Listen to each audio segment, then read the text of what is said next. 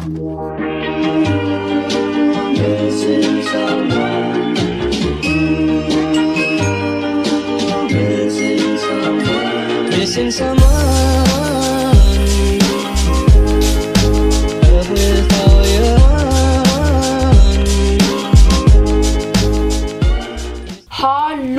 Sammen. Oi. Og velkommen tilbake til en ny video på min kanal. Ja, det vet vi alle. I look like this, and that's okay. I dag så skal jeg teste mer asiatisk godteri Eller asiatisk snacks, godteri, drikke.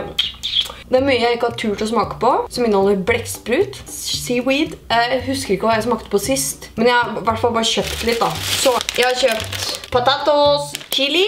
Jeg har kjøpt sånn her Jackfruit. Det jeg har hørt er dritgodt Og jeg tror jeg har smakt det før. Chili. Seaweed Så har vi jo selvfølgelig noe blekksprut-greier her Når er det noen gang det her går min vei? Is the question Vacuum-filled Yakoro chips Don't know. Jeg kjøpte en til Ramune som er med lynch, lynsje, lynch flavor. Fy faen, jeg er så drittlei den gata her. X2 Spicy nudler, men det tenkte jeg smake på en annen video. Fresh Lime Flavored Center Filled Candy. Jeg kjøpte de her. De her har vi jo smakt på. Det er sånn jelly straws, men jeg kjøpte det for at jeg synes det er så godt. Jeg kjøpte to forskjellige godteriting. Sour sticks. En med vannmelon og en med jordbær. Og det siste jeg har kjøpt er noe pose med masse forskjellige drops og noen greier. Jeg tenker vi bare begynner å smake, og beklager for den der irriterende lyden i bakgrunnen. Jeg kan ikke noe for det. Vi kan jo starte med den her, som er chili potetchips egentlig. Ser sånn her ut. Det skal kun være med chili. Hvorfor smakte det litt sånn fisk? Det smaker litt fisk. Hvorfor gjør det det? Det smakte litt fisk, som sagt. Jeg vet ikke helt hvorfor. Men ellers så var det helt ok. Det er på en måte litt sånn lace potetgull smak. med chili. Den var ikke så veldig sterk, men den var egentlig ganske god. Jeg vil gi den her, hvis du tar nå 1 til 10 da, så vil jeg gi den her en 7-er. Den, den var helt grei. Jeg kan spise det opp liksom. Helt grei. Vi kan jo da åpne den ramunen her da, for at eh, jeg begynner å bli litt eh, tørst. Det er altså med litchi-bær. Det her er jo alltid kjempegøy. Det brusa ikke over, heldigvis. Så ja, som dere ser, det er en liten sånn kule nedi her. Jeg vet ikke hva, men det er gøy. Så smaker vi. Nei, fysj! Det smakte litchi. Litchi er veldig godt. Men det var, det var veldig lite smak, føler jeg. Og den smaken som var, var veldig kunstig. Det smakte nesten litt røkelse av den her. Hvis du skjønner hva jeg mener. Med røkelse. Det smakte litt sånn Litt sånn røkelse på pinner. Usch, det smakte parfyme. Den her var ikke noe god. Den her får en 3 av 10, men jeg kan drikke den opp, fordi jeg er ikke så kresen. Ok, skal vi prøve noe ekkelt. Vi kan prøve seaweeden med chilismak. Sjøtang, sterk krydret. Herre Jesus. Da smaker vi. Altså, greia med det her er at det absolutt ikke er så ekkelt som det høres ut som. Men det smaker så klart sjøgress. Det smaker veldig sjø, salt. Men jeg har ikke noe imot det. Jeg føler at sjøgress kan vokse på meg. Er ikke det her egentlig veldig sunt? Mm, ja, veldig mye kalorier oppi, men jeg synes at... Eh, Mm, dette var en god smak. Jeg kan godt spise den her. Jeg vet ikke hvor mange jeg kan spise av den, eller hvor mange sånne jeg kan spise, men jeg synes det var veldig godt, egentlig. Hvis jeg har smakt denne smaken før, en tidligere video, og ikke likte den, så liker jeg den og da blir jeg amazed. Jeg tror ikke jeg smakte den med chili før. Nei, den var egentlig ganske god, altså. Åh, satan, den drikka var ikke god. Til å være sjøgress så er den god. Så jeg vil faktisk gi den en sekser av ti. Fordi at det er ikke det jeg hadde uh, Nå er det lørdag, nå skal jeg kose meg, liksom. Men det er mer sånn Herregud, det er faktisk dritgodt til å være sjøgress. Nei, den her, hvis dere liker sjøgress, så syns jeg dere burde prøve ut den her. Vi kan det med en gang, tenker jeg, og gå over til blekksprutgreia. Spør du meg, så spør jeg deg, for jeg har ikke peiling. Hæ? Ja vel. Altså, det her er super seafood snack. Um, det er med hvitløkssmak, og blekksprut er inni her. Jeg tror ikke vi skal ta så veldig mye, men det her er blekksprut i hvert fall.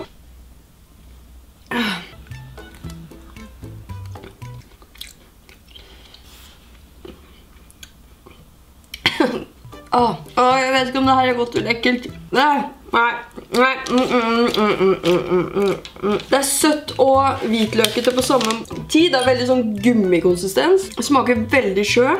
Åh, veldig sjø. Nei. Juk. Nei, æsj. Den Nei, usj. Den var ikke noe god. Den får en toer av ti. To av ti fra meg. Altså, fytti rakkeren. Liker folk som tar liksom super seafood snack. Ja, ja, det her var jo det er fisk, blekksprut, hvete og soya. Altså, ui.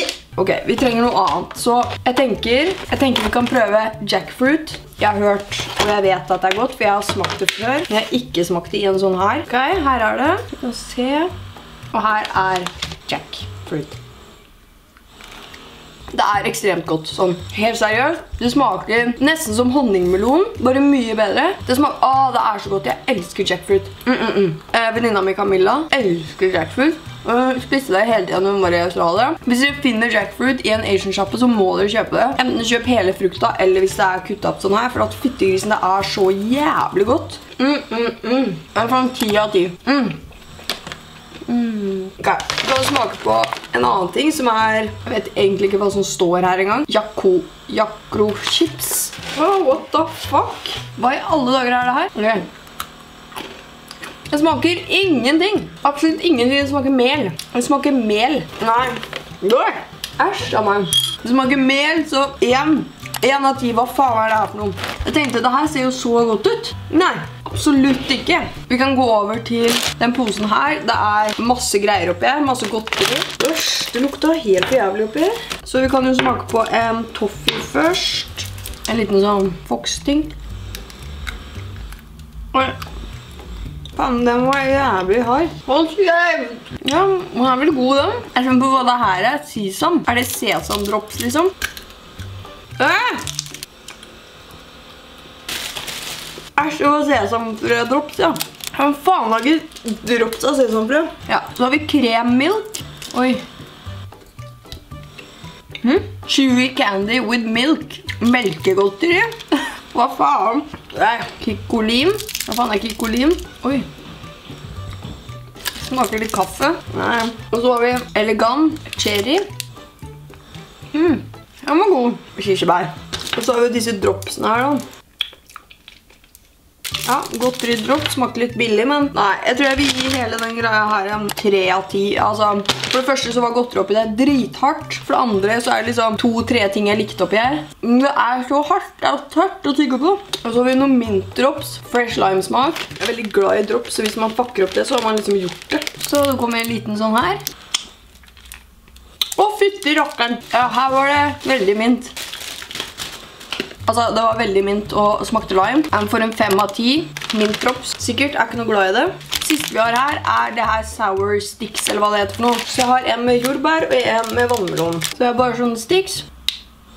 Sur var den i hvert fall ikke. Mm. Skal prøve en med vannmelon. Mm. Ok, greia er at det er sykt mye sukker på den, men greia er det at så fort du putter i kjeften, så går det sukkeret bort. Det er, sånn, det er ikke noe motstand, det er ikke noe sånn at du kan sitte og suge litt på det sukkeret, for det går bort med en gang, og det liker jeg ikke. Smaken er veldig sånn riktig smak. Altså, smaker jordbær og smaker melon. Det smaker selvfølgelig syntetisk, for uh, det er jo godteri. Ok, nå måtte jeg bytte til dette kameraet, for at er andre... Det handler om å bli tom for strøm, men altså, det smaker godt, men det er liksom ikke kanskje det beste jeg ville spist, om det gir mening. Jeg synes liksom ikke det her var liksom, wow. Den imponerte meg ikke, er vel det jeg prøver å si. Vi kan jo prøve, så jeg vet jeg hadde de her i min forrige video, men jeg synes de er så gode, så vi kan jo liksom bare kjøre på med en liten en nå. Vi tar favorittsmaken min, som er grape. Mm, mm, mm. Det er liksom ikke det som smaker mest, men jeg synes det er dritgodt.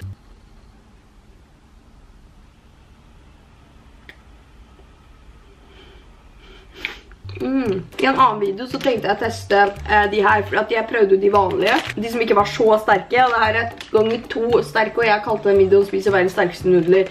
Så det her er jo faktisk verdens sterkeste nudler. Er det ikke de da?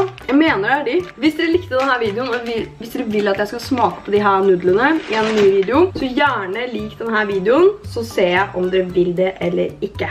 Så hvis dere likte denne videoen, ta tommel opp. Og så snakkes vi nesten bare i min neste video. Ha det bra. Missing someone.